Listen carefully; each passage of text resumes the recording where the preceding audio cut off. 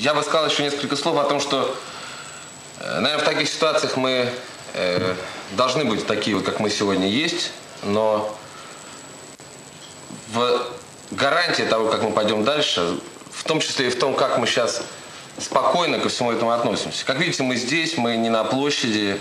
Э, Когда-то мы были в Белом доме, когда действительно по-серьезному решалась судьба нашей страны, когда противостояние с колоссальной машиной коммунизма этого несчастного маленького Белого дома было настолько серьезно. И тогда мы, многие из тех, кто сейчас сидит дома, я надеюсь, что сидит дома и будет сидеть, были там. Сейчас это все уже, это вообще уже никак. Глупо говорить, что политика зашла в тупик. Глупо сейчас рассуждать, кто прав, кто виноват. Хотя, наверное, сейчас люди сидят дома и думают, ну вот хороший Ельцин или плохой, хороший Хазбулатов или плохой. Вот с момента, когда проливается кровь, это все уже не столь важно, мне так кажется. Да и вообще это не важно. Действительно, будут выборы, и мы сможем сделать свой выбор. Я думаю, что мы выберем что-то третье. Не то и не другое. Но это вообще другой вопрос. Э, Как бы политики не ошибались, мы все равно остаемся людьми, мы народ. Мне очень понравилось, как сказал Владимир Яковлевич, что они должны быть нам обязанными, раз мы их избрали. И пусть они эти обязательства перед нами выполняют. Давайте попробуем сделать так внутренне, чтобы они чувствовали хотя бы, что мы именно так к ним относимся. Мы слишком их любим, мы слишком много о них говорим, мы слишком много внимания им уделяем. И именно поэтому, может быть, льется кровь. Я не знаю, кто предлагал сегодня кому куда идти, кого защищать. Я предлагаю никуда не ходить и никого не защищать. Наш дом – это наша страна. Она действительно большая, больше, чем эти 4 квадратных километра.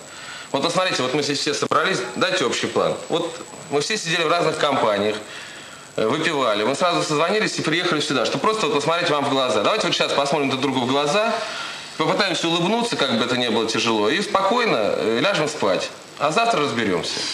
Спасибо вам. Я, я хочу еще сказать одно слово, если ты позволишь. Конечно. Я, пока все говорили, я подумал о том, что когда мы говорим о государстве, государство это не есть что-то необъемное, это не многомиллионный народ, это не толпа. Государство это каждый из нас. Государство это Саша, это Влад, это я, это Андрей. И я бы хотел, чтобы все, что говорят о государстве, каждый принимал на свой счет. И я прошу тех политиков, которые меня слышат, и которые в последние дни много, особенно много, призывают к народу, больше не призывать к народу, потому что, к сожалению, к этому народу относятся как к стаду. И народ это, слава богу, уже понимает.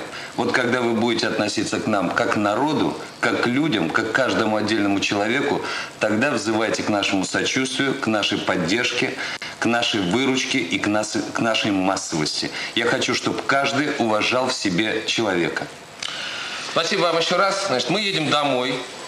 Мы нигде не будем участвовать. И знаете, что когда мы выходим в эфир, мы стараемся говорить правду. Спасибо. Спасибо. Спасибо, Спасибо. вам.